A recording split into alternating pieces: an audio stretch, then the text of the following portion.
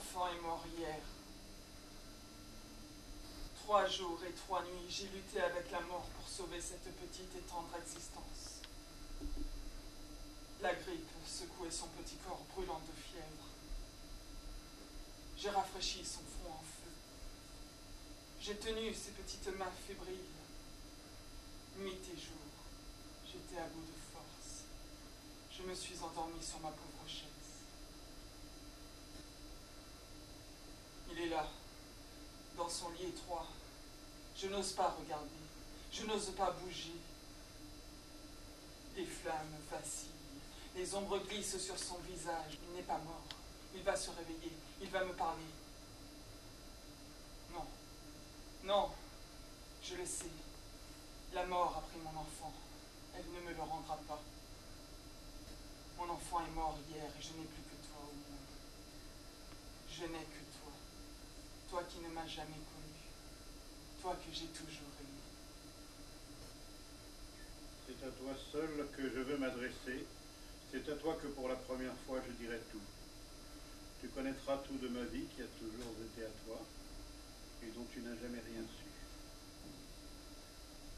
Tu ne connaîtras mon secret que lorsque je serai morte, quand tu n'auras plus à me répondre. J'ai la fièvre, la grippe. Elle rôde de porte en porte. Alors, je veux recueillir toutes mes forces. Te parler une dernière fois. Rien qu'une fois. Oh, mon bien-aimé. Mon enfant est mort hier et je n'ai plus que toi au monde. Je n'ai que toi.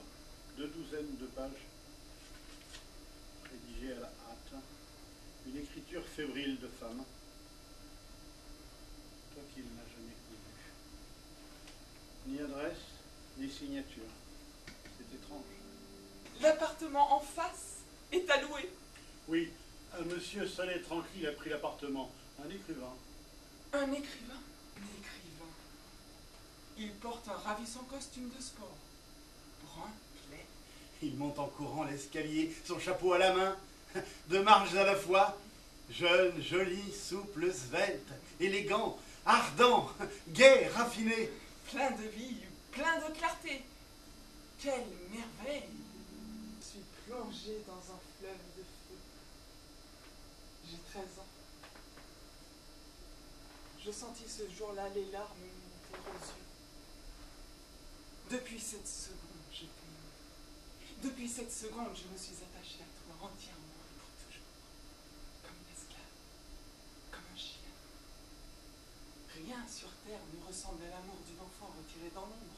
Un amour humble, soumis, désintéressé, attentif, passionné. Je n'avais personne qui me confier, personne pour m'instruire et m'avertir.